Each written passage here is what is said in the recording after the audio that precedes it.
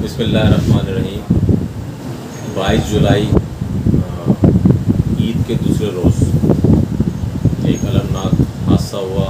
Akbari ground की तरफ़ transformer blast होने से तकरीबन सत्रह लोग जो हैं झुलस गए और उनमें से नौ लोग नौ लोग जो हैं उनकी अमवात हो चुकी हैं। आज तक और एक बड़ा एक, अलमनाक हादसा हुआ और इसकी वजूहत जानने के लिए अली सतह की तहकीकती कमेटी भी बना दी गई और वो इंशाल्लाह एक आधे में रिपोर्ट पेश कर देगी। लेकिन ये है ट्रांसफार्मर के ऊपर, जो ट्रांसफार्मर के ऊपर सियासत शुरू हुई और सियासत का जो हम हैदराबाद की ख़ास तौर पे सियासत का जो महवर रहा, वो ट्रांसफार्मर बिजली, एस्को के मसाइल यही रहा। कब और कैसे शुरू हुआ, क्या ये हुआ, इस पर थोड़ी सी सोचने की ज़रूरत है। ये ट्रांसफार्मर ख़राब हो जाते हैं। फिर उनको बनवाने के लिए पैसे जमा किए जाते हैं।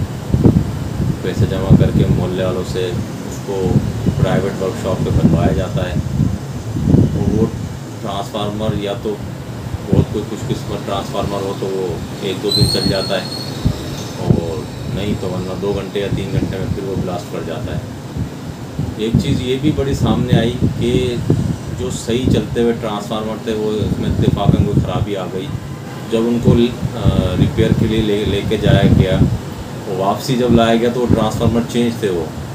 और वो जो सही सलामत जो ट्रांसफार्मर थे, वो कहाँ गए, किन इलाकों में गए, इसकी तहकीकात होना भी ज़रूरी है कि सही चलता हुआ ट्रांसफार्मर जो अरसे दराज से सही चल रहा था उसमें कोई ख़राबी आती किसी वजह से, फिर वो वर्कशॉप पे जाता है वापस आता तो चेंज हो जाता है वो। उसकी जगह बोसीदा बिल्कुल नाकस, जो कि जिसको आप रोज़ाना भी सही कराओ तो वो किसी काम का नहीं होता वो। एक तो सबसे बड़ी जो कमी होता है अकेले उसको, के हैस्को की अपनी कोई वर्कशॉप नहीं है। जहाँ पे वो जाके ट्रांसफार्मर बने। और अगर एक उसको प्राइवेट वर्कशॉप पे ले आके बनवाया जाता है तो कम से कम वो उस चीज़ की गारंटी तो दे। कि ये चलेगा। कि वो ला ला के रखा जाता है और वो ब्लास्ट कर जाता है। और उनमें से आयल निकलने के वाक़ात जो हैं, वो दिन ब दिन बढ़ते जा रहे हैं। तो या तो ट्रांसफार्मर बिल्कुल नकारा हो चुके हैं, या वो वर्कशॉप बिल्कुल नकारा हो चुकी हैं, या जो है वापडा का अमला बिल्कुल जो है, इसको हमारा नकारा हो चुका है। तो अब इन चीज़ों पर सोचने की ज़रूरत है। ये सियासत का मेवर बना दिया गया हमारा इसको। इसमें काउंसलर चेयरमैन सबसे पहले कूदे अब आप मुझे बताएँ कि बल्दियाती नुमाइंदों का ये काम होता है कि वो वापडा के ट्रांसफार्मर सही करा के लेकर आएँ और हार पहने? या M P M N A का ये काम होता है? नहीं। ये तो इदारे का काम है, लेकिन बदकस्मती से इदारा अपना काम करते नहीं है, ठीक। सियासी उनके अंदर मुदाखलतें होती हैं। इसके बायस जो है ये इस तरह के वाक़ात होते हैं। अगर कोई इदारा अपने तौर पर ठीक उसको करना भी चाह रहा हो, सही काम करना चाह रहा हो तो उसको रोक दिया जाता है। ये देखा जाता है कि हम इधर किसके वोटर हैं। अगर उस पार्टी के अपने वोटर होते हैं तो उसको उसको फ़ौर से फ़ौर सही कराया जाता है, हर चीज़ की जाती है। और अगर देखते हैं कि यहाँ से हमें वोट नहीं मिले थे मुखालफी ने तो उनको तंग किया जाता है। उनको बिजली ना दे के तंग किया जाता, उनको डिडक्शन के मसले लगा के, इस तरह से मतलब जैसे पुलिस को एक इंतकामी कार्रवाई की तरह इस्तेमाल किया जाता है, उसी तरीके से हैस्को को भी इंतकामी कार्रवाई के लिए इस्तेमाल किया जा रहा है। और इसमें यूनियंस का बड़ा बुरा किरदार है, सियासी जमातों का बड़ा बुरा किरदार है, और इसको अब ये ऐसा इशू है कि अब इसको सॉल्व होना चाहिए, क्योंकि अब बहुत हो गया। बहुत हो गया, हैदराबाद में ही क्यों ये मसले हो रहे हैं, सोचने वाली बात है।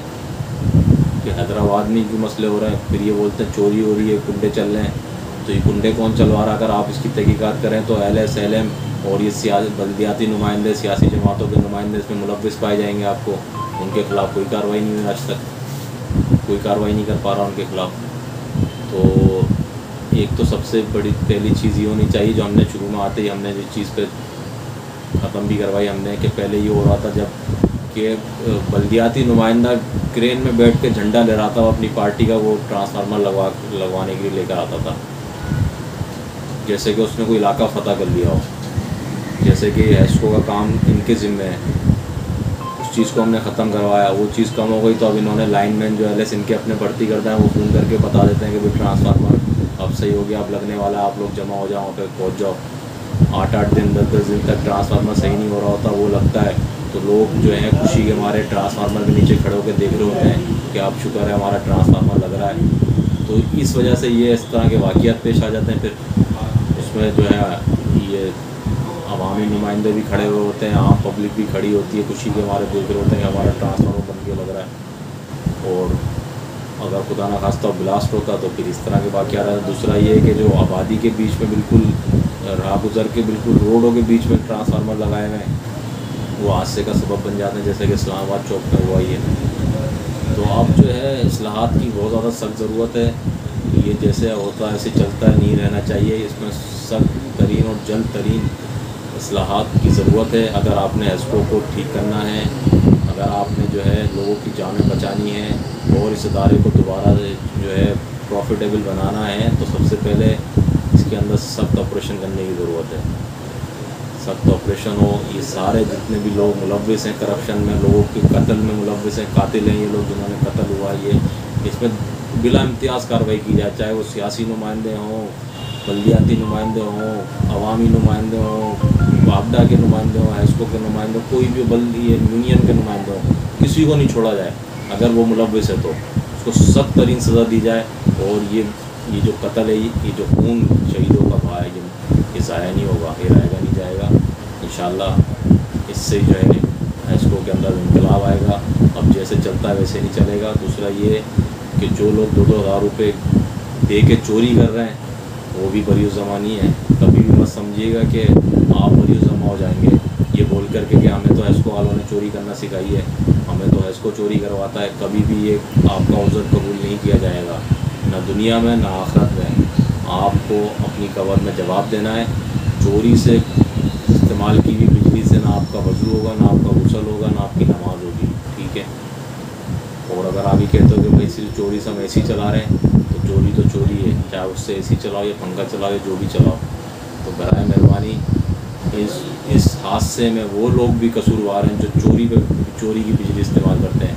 वो भी उनका जितने ही अफराद हैं, उनका खून उनके ऊपर भी है बर मेहरबानी तोबा करें हिदायत की दुआ करें अल्लाह हम सबको हिदायत दे। हम अपने मुल्क, अपने शहर को नुकसान पहुँचाते हैं, चोरी करके। ये ना करें बर मेहरबानी। अगर आप अफोर्ड नहीं कर सकते तो आप छोड़ दें चीज़ों को और तोबा करें अल्लाह की बारगाह में। अल्लाह हम सबको नाकानी आफतों से बचाए और जितने लोग इस दुनिया से चले गए, अल्लाह उनकी नफरत फरमाए उनके अहल खानों को सब्र जमीलता फरमाए।